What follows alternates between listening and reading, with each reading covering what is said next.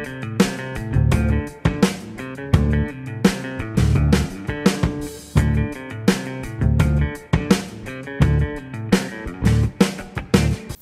what's up, everybody?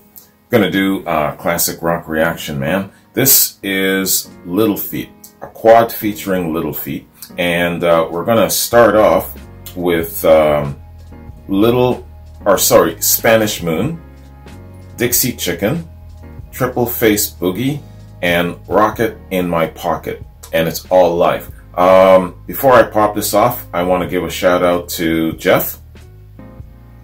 Jeff says, um, Little Feat, this is the third quad from the album Waiting for Columbus, tracks 9 to 12. More info. Uh, in a review from All About Jazz, they sum up a lot of why this album is so popular and rightly agree with your sentiment that this is a band that should be heard live. The members of Little Feat found themselves in demand as session musicians, supporting many notable recordings. But as it turns out, the studio is not where the collective feat would shine.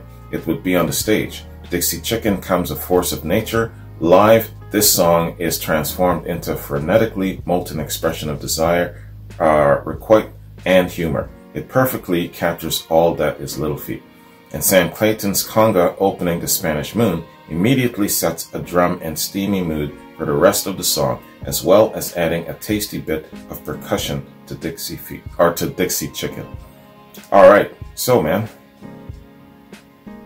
good intro to Little Feat. If no one else has ever, uh, if no one has checked them out before, if you haven't seen uh, seen some of my Little Feat uh, reactions in the past, really, really good band, man. I always visualize them being kind of like on the same stage with the likes of Allman Brothers Band and the Grateful Dead doing a really, really nice, beautiful live outdoor festival concert. You know, that's where I see Little Feat.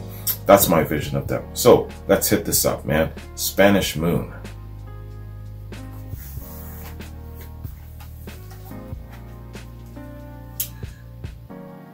Little Feat, Spanish Moon live. Let's get it.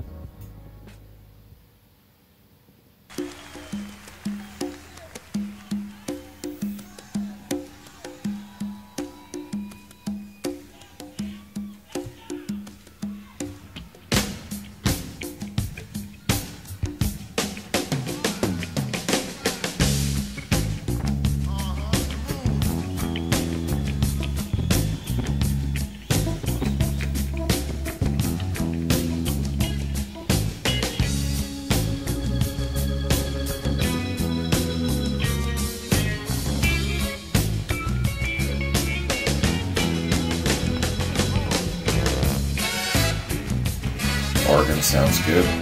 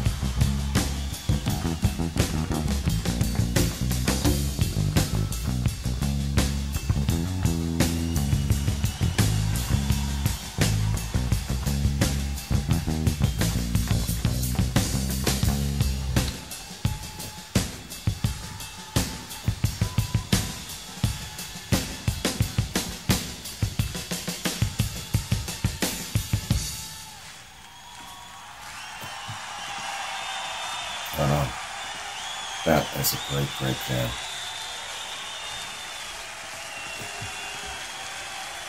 Yeah, no doubt they like that.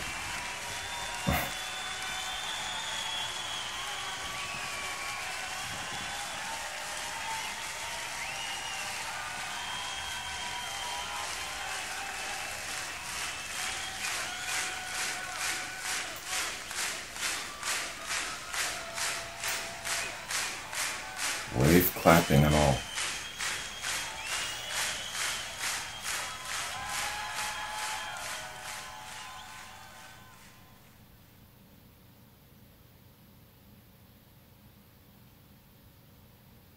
Okay, man. So that's Spanish Moon. Live. Great, great jam. And like I said, man, I'm always uh, visualizing Little Feat being accompanied by the Allmans and the Dead in a really, really nice outdoor festival, you know, uh, just having a really excellent time and uh, just doing doing that thing, getting people all riled up and uh, really, really appreciating what they're hearing. Excellent. Let's uh, take a look at this great song, man, and see what it's all about, where it started from how the inspiration came about, all of those really cool bits of information about uh, the song that I appreciate. Spanish Moon. Spanish Moon appears on Feats Don't Fail Me Now. It's the fourth studio album by American rock band Little Feat, released in 74 on the Warner Brothers label. The cover was designed by Neon Park. According to Richie Hayward, Wait Till the Shit Hits the Fan dates back to their debut uh, but the band had trouble recording it on the previous two albums due to its irregular 7-8 meter. It was scrapped until the sessions for this album when it was recorded live in the studio as The Fan. The original version appeared on Hotcakes and Outtakes 30 Years of Little Feat. In 2000, the album was voted number 718 in Colin Larkin's all-time top 1000 albums. Alright now. So more album information rather than song details. So let's just jump to our next track, man. That being Dixie Chicken.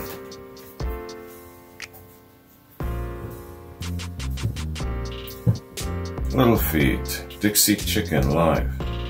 Let's get it.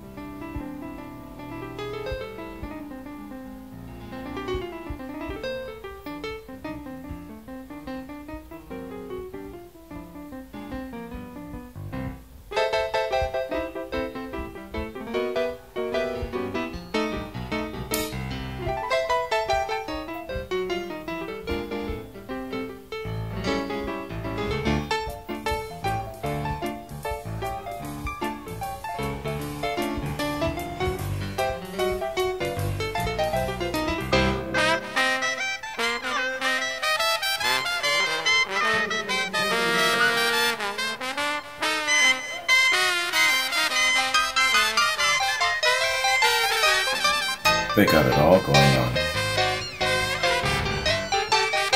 Every instrument. Except the harmonica.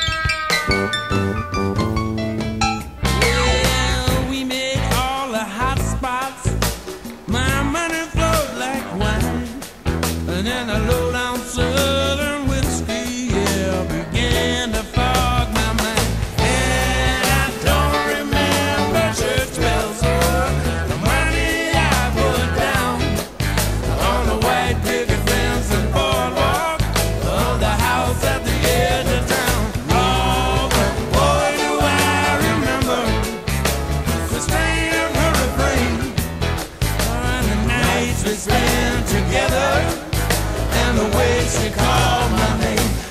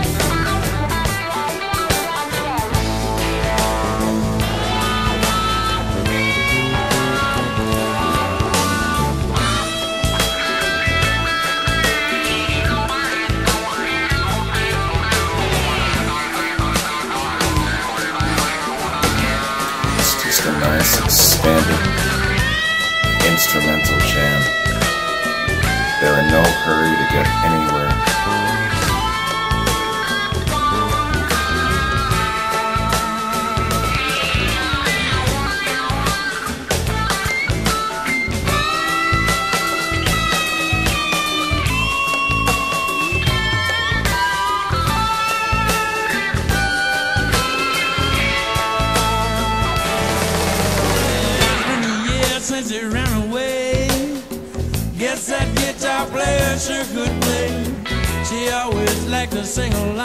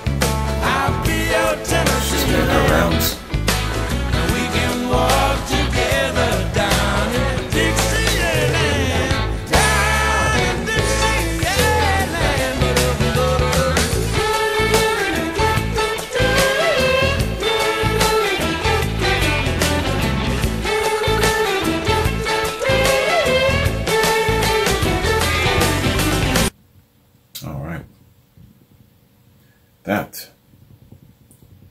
is Dixie Chicken. Fantastic. Yeah, um, Dixie Chicken ends abruptly because it segues immediately into another track. Now, Jeff had said to me, yeah, you know, I suggest that you just listen to all of them. Sorry, Jeff, that's not the format of my reactions. I do, eh, especially in a quad, I do a song and then I do a review of that song. I don't go through the whole thing like I do an album reaction. So I uh, break it up because that's a part of my format, just so you understand that.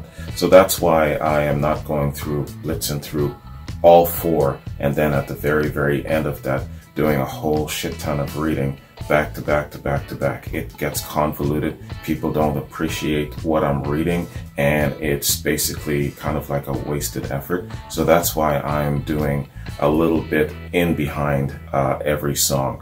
Uh, just so you know, that's my format uh, on my platform. So, Dixie Chicken. Dixie Chicken appears on the album with the same name. It's the third studio album by American rock band Little Feat, released in 73. The artwork for the front cover was by illustrator Neon Park and is a reference to a line from the album's third track, the song Roll 'em Easy. The album is considered their landmark album, with the title track as their signature song that helped further define the Little Feat sound.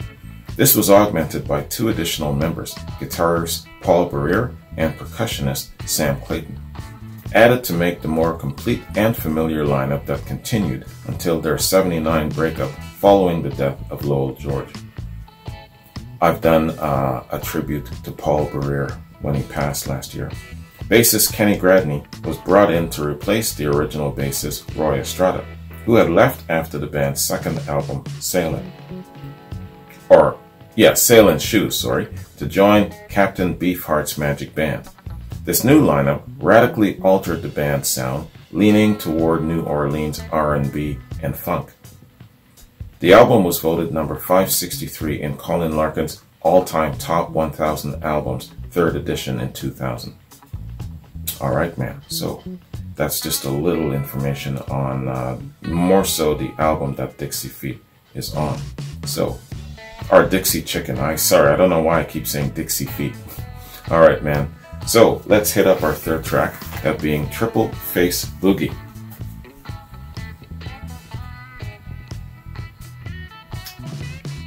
Little Feat, Triple Face Boogie, live. Let's get it.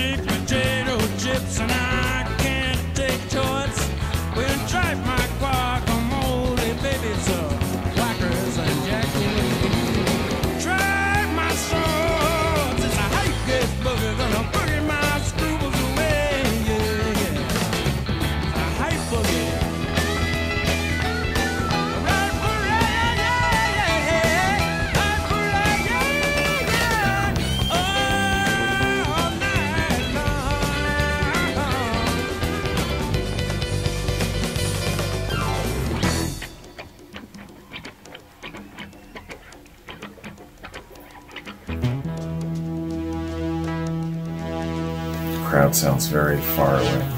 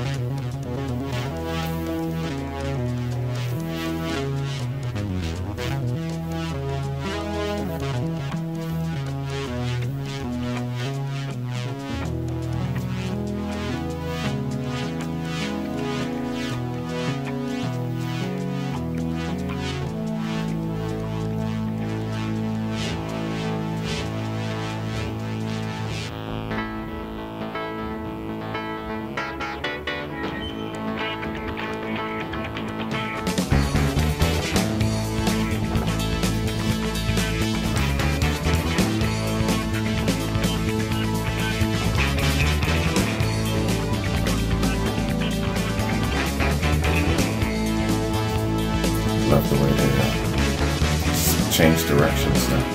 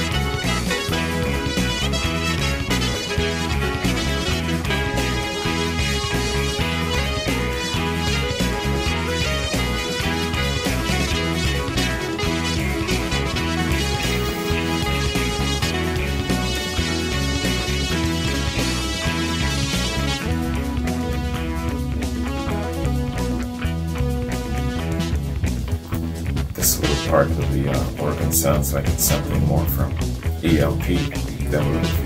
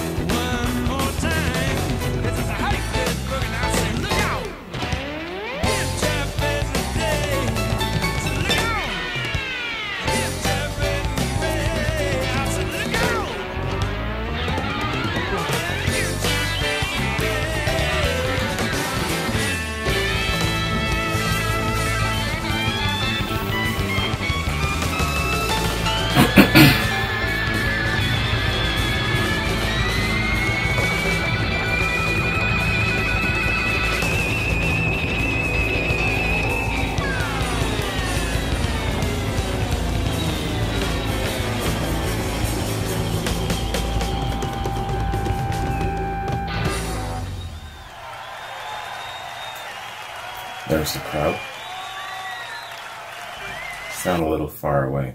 Well, obviously, the, uh, the audio audio feed for the crowd is uh, a little on the low side. Good tune, man. Good tune. It really switched up there a little bit, didn't it? Changed directions a little. It made me think that I was listening to a different band once the uh, extended instrumentals in the middle of the song was going. Good tune, though. Triple Face Boogie. All right. So, let's see what we can learn about this tune, man. Uh, okay.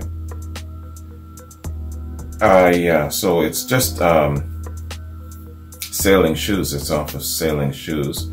It's just uh, album info more so than song details. So, Triple Face Boogie appears on Sailing Shoes. It's the second studio album by American rock band Little Feat released in 72.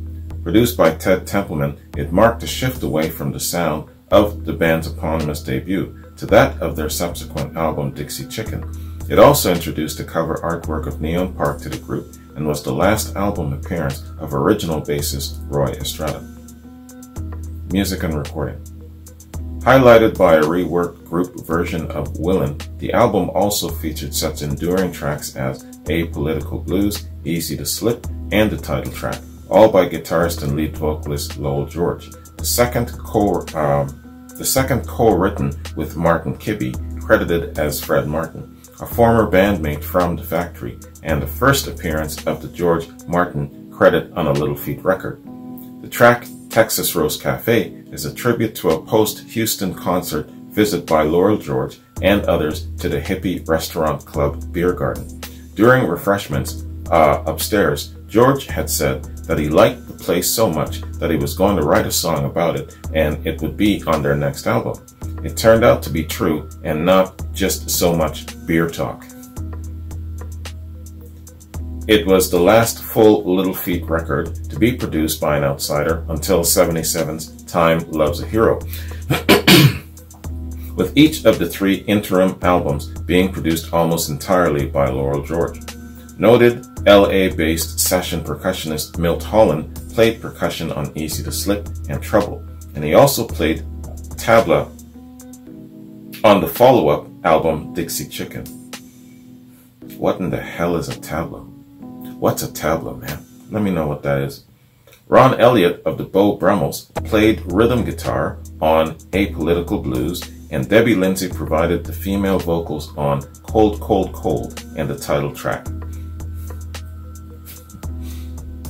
The Beau Brummels. Do you guys remember the Flintstones, man? The Flintstones. they were having, I, I can't, I think it was uh, Shindig and, um, and they actually introduced the Beau Brummels as themselves. I, I think that it was the Bro, uh, Brummel Stones, and they had uh, mm -hmm, mm -hmm, Laugh Laugh. You remember that episode of the Flintstones? Let me know if you remember what the hell I'm talking about. That was the shit, man. I remember that way back from when I was a kid. I always dig the Bro Brummels, Bro Brummels for that. Beau Brummels, damn. Reception. It was voted number 469 in the third edition of Colin Larkin, Larkin's all-time top 1,000 albums in 2000. In 2008, the album was released as gold CD by Mobile Fidelity Sound Lab. All right, man. So let's hit up our final track, Rocket in My Pocket.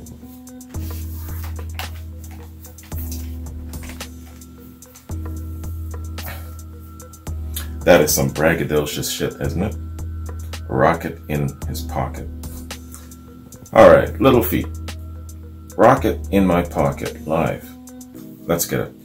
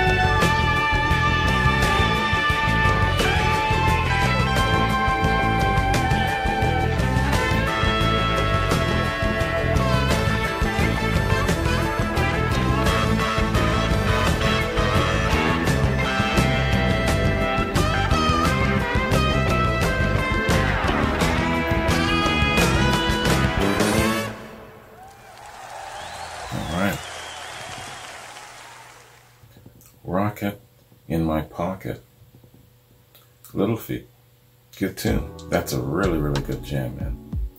And, uh, and it was only 3 minutes and 46 seconds. Yeah, that could have been much, much longer. You know, I was still trying to listen for, maybe I missed it. Why? So he says the music was hot, but my baby was not. Why? I, wasn't it her idea to go out in the first place? So they get all spiff, spiffed up, they go out, he's feeling it, the groove, the jam, all's good, and she's not feeling it? Why? You know, I didn't catch that part.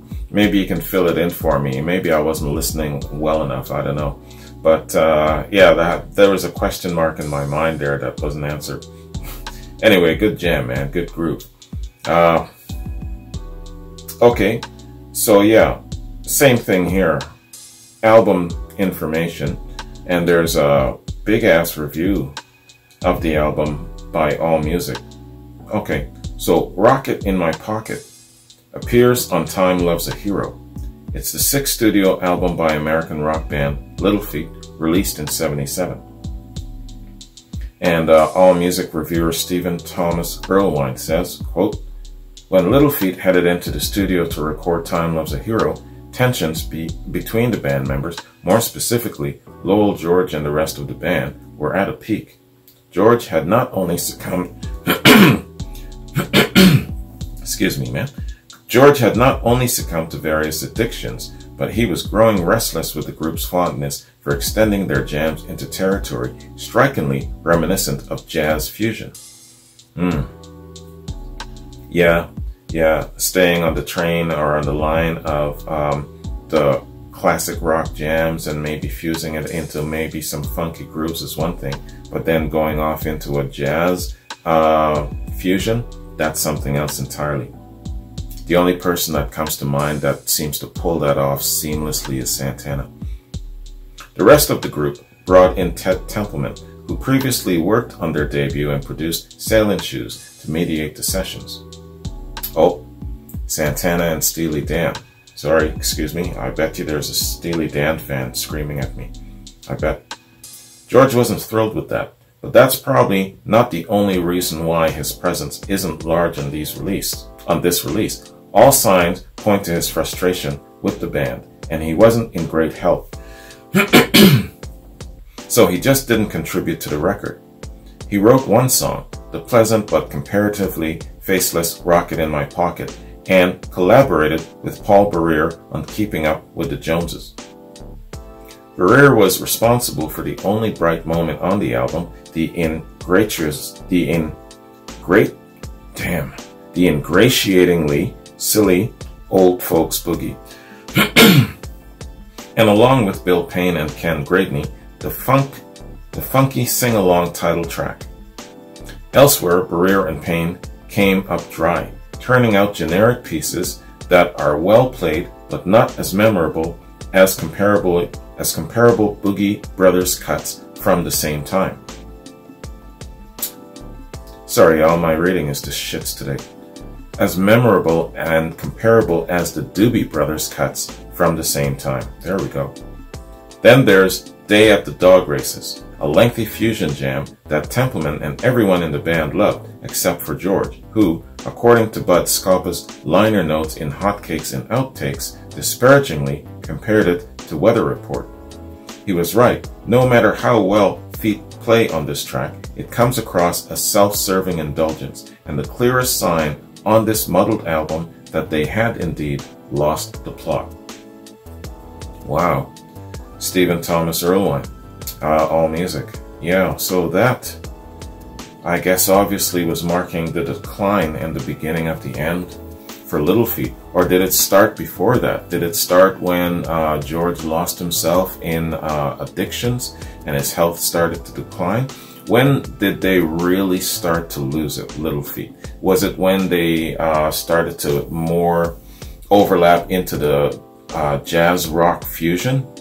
Whereabouts did they really start to lose it? Let me know about that. I have a feeling, Jeff, you know. So, that concludes our look at these really, really great songs, man. And just like I said, you know, uh, you can tell when a band is at their best performing live. And yes, even though I started off listening to Little Feat uh, from their studio stuff, I knew all along because I was just visualizing how much I would enjoy them watching them live. And then, of course, my mind was putting them right shoulder to shoulder with the Doobies and um, uh, and the Grateful Dead. Not the Doobies, I'm sorry. Um, with the Allmans and the Grateful Dead and uh, seeing them in a nice live outdoor kind of um, uh, uh, concert venue. So that really um, gave me the impression of how great Little Feat could be live. And it just goes to show I'm right. You know, they sound fantastic. They're clear. They're having fun. They're jamming, you know. Um, missing video footage, but of course, you know, most of the time we're not going to find decent video footage with decent audio. So, you know, you basically be thankful for what you get. But they sound really, really good live. Some acts have no business performing live. They are the shit, some of them, live. You know, but yeah, man, there are some that just shine so bright being uh, performing live. And um, Little Feat, they're one of them, man. All right. So that concludes my quad. Jeff, thank you very much for this. Uh, I'll always have time and room to do some Little Feat, man. They're one of those bands that I've been saying that I really want to get to know a little bit more. So thanks for uh, keeping the little train uh, of reactions going for me. So uh, yeah, I'm just lo looking at my notes here. Uh, I got a reaction. I believe it's an album reaction for Jeffrey. Uh, I got a shit ton of Jeffries, man, between my two platforms. This is Jeffrey Starlin. Um, and I can't remember what the album is. It's probably a... Mm, it's talk. Speaking of the Grateful Dead, I bet you it's a Grateful Dead album. So Jeffrey, Don, Quincy, Charles, David Akachita got reactions uh, coming up. I should knock all of these out before the end of the week. And then we get into the weekend and uh, we hit up some Led Zeppelin. I think what I'll do my next Led Zeppelin reaction will more than likely be the full album of Presence. I want to do uh, do a little reconnecting with um, the album Presence and then In Through the Outdoor. Those two albums, basically, I just kind of, well, I didn't fly through them, but, you know, from one song to the other, it's a, a disconnecting factor there. And so I know that um, it was intended for you to do a whole album listen, you know, from beginning to end. So I'll do that just to kind of reconnect myself to these uh, two albums. There are four albums in total from the Led Zeppelin lineup that I didn't really feel very connected to. The songs, yes, the whole album, not so much. So that's why I'm going back and doing this, just so you know. A lot of you are probably saying, well, first off, you do too much Led Zeppelin. And secondly, why the hell do you have to do uh, do it over again, you know, and, uh, you know, that's why, just so you know. And by the way, those of you who are saying that to me, you know, you do have a choice. You know, you don't have to um, check out my reactions. You know, you don't have to say shit, right? And you know that you can go somewhere else. You know that, right? Just so you know. All right. That's how I roll, man. Stop messing with me on my channel. All right. So, Jeff, thank you very much, brother. I appreciate um, the knowledge and the information here uh, about Little Feat, And I appreciated reading this little piece from uh, All Music. And sadly, yes, you know, uh, I guess everyone has a decline. Every great band has a decline, and Little Feat's no exception. So, uh, but yeah, I, I want to do a little bit more background on this when the decline actually started. I'm not sure if this was actually the time of this album. So we'll do a little bit more uh, digging as time goes by with more reactions. Anyway, thanks very much, guys. Hope you enjoyed this. Take care, and I'll see you in my next reaction. Peace.